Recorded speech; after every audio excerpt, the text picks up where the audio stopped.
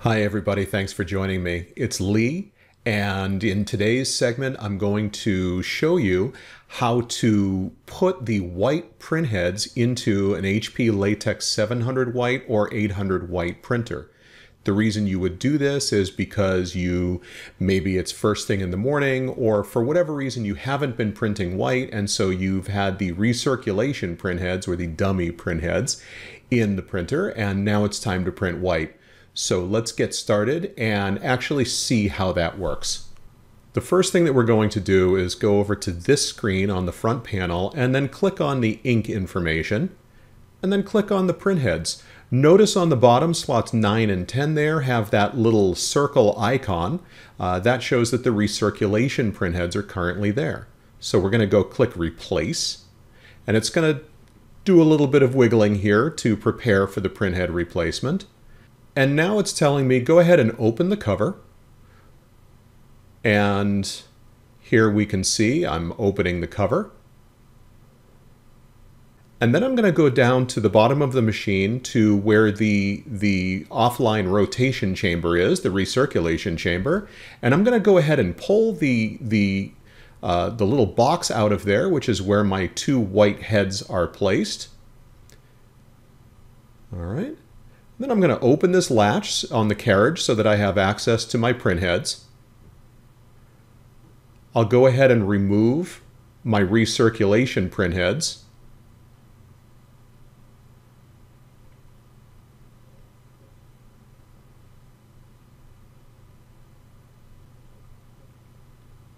And now that I've done that, I can get the functioning print heads out of the machine out of the box and then go ahead and place them into the carriage. When you do, make sure that uh, white 1 goes into the white 1 slot and white 2 goes into the white 2 slot. Just put them in in the same order uh, that you see. The left goes in the left, the right goes in the right. If you don't do that, the printer will give you a warning that your printheads need to be realigned.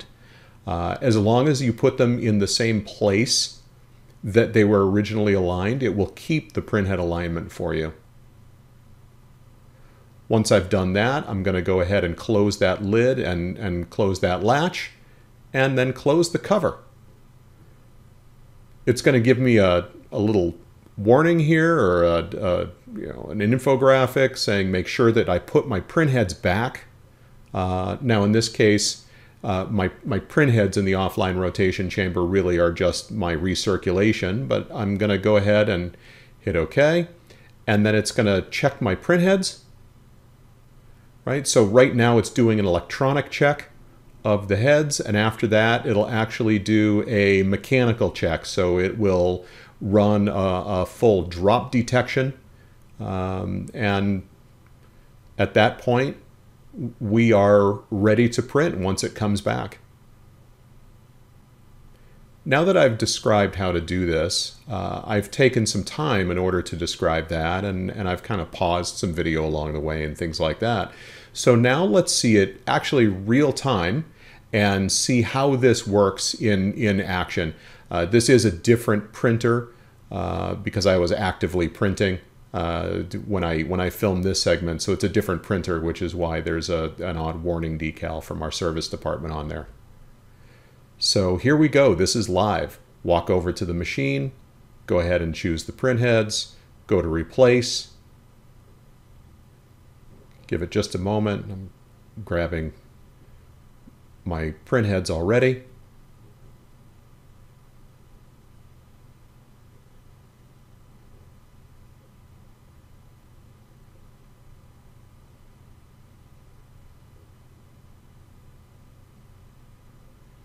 Okay, it's done a quick electronic check. It's ready for me to replace the, the print heads.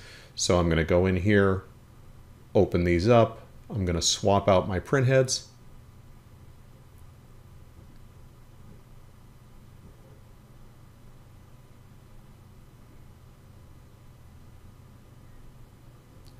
Close the latch, close the cover.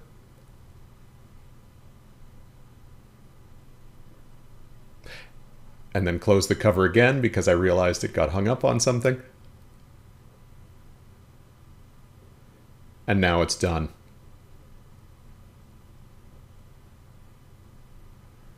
So that's it. A minute 11 of user intervention, and to be fair, probably five seconds where I didn't realize that the uh, that the lid was actually still open. So I I don't know. We'll call it a minute. Call it a minute five. Um, very very quick to do this. Very simple to do this. At that point, the machine is going to do a little bit of its own checking. It, it depending on on how long the, the heads have been stored, uh, it might take a minute or two for it to actually come back and be ready to print.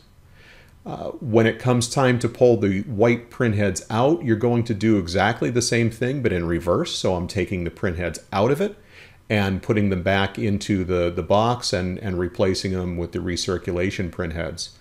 Uh, that procedure does take a few minutes longer because one of the things that happens on these printers is that the heads are warmed up and uh, so there's actually a cool down procedure before you take the print heads out. It's not necessary to do it, uh, but what the engineers have found is that it, it does uh, help with the longevity of the heads if you allow it to go through the cool down procedure. So I don't know. I think it's about 10 minutes, but again, you don't have to be there. You you initiate the the cool down and then just come back when when it's done uh, and move on. So again, your your user intervention there is you know a minute, a minute and a half, something like that.